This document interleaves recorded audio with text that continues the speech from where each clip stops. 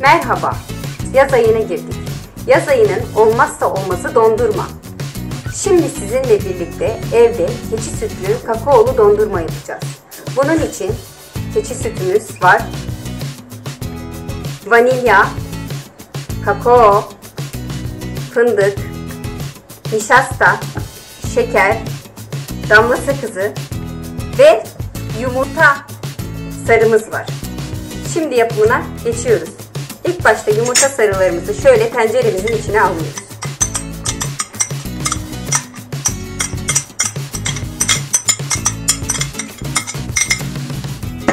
Ardından şekerimizi üzerine döküyoruz.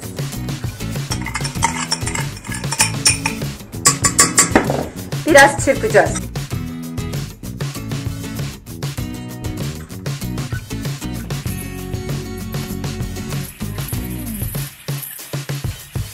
Şeker ve yumurta sarılarını biraz karıştırdık.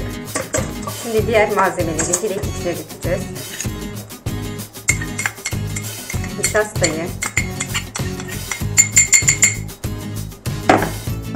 kakaoyu,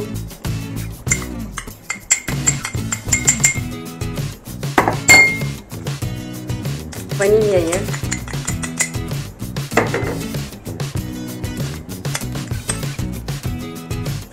ve damla sakızını şöyle ekliyoruz. Azar azar süt ekleyerek karıştırmaya başlıyoruz.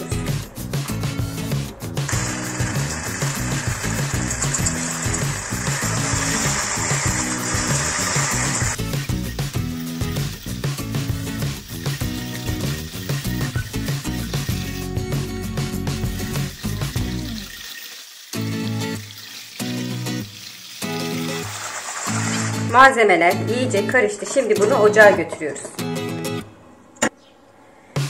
Dondurma malzemesini ocağa koyduk. Şimdi ateşini yakacağız. Önce yüksek ateşte biraz pişireceğiz. Sürekli karıştıracağız.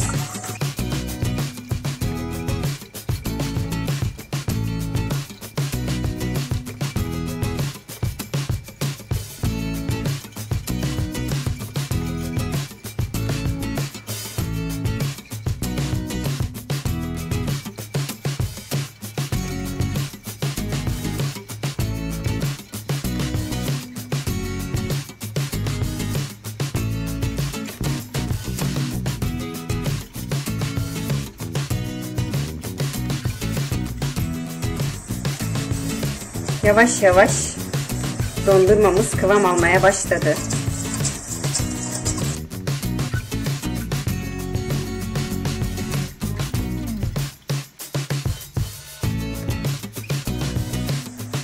Şimdi ateşini kısıyorum. Bir dakika daha pişireceğim. Sonra altını kapatacağım.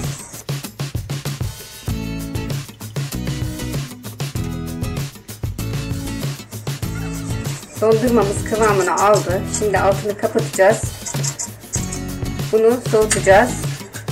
Şöyle kepçe yardımıyla yukarı doğru kaldırarak soğutacağız. Dondurmayı balkona getirdik. Şimdi soğutma işlemini balkonda devam ettiriyoruz.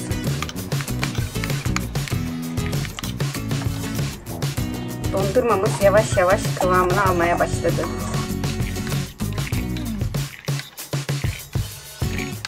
İyice soğuncaya kadar bu işlemi bu şekilde devam ettiriyoruz.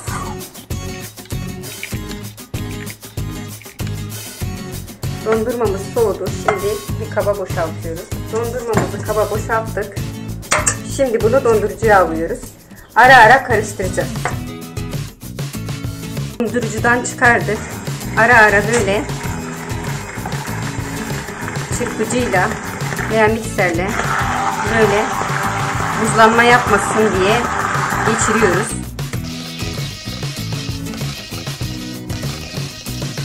Sakız gibi sönme bir dondurma elde edeceğiz. Şimdi yine dondurucuya alacağım.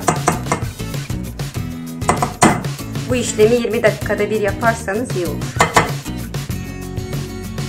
Dondurmayı bir kez daha dondurucudan çıkardık. Yine mikserden geçiriyoruz. Böylece buz kırıklarına engel olmuş oluyoruz. Şimdi tekrar dondurucuya alıyoruz.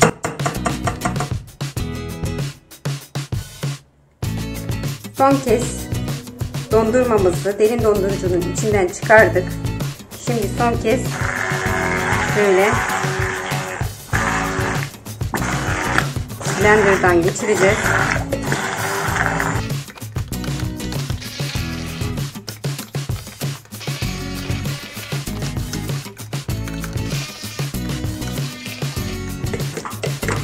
Karıştıracağız. Evet iyice karıştı. Şimdi kaplarıma boşaltacağım.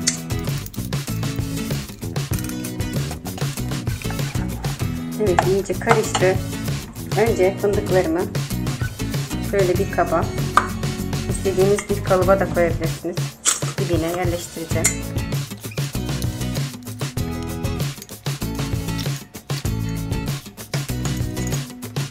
Fındıklarımızı koyduk. Şimdi dondurmalarımızı kaplarımıza boşaltıyoruz.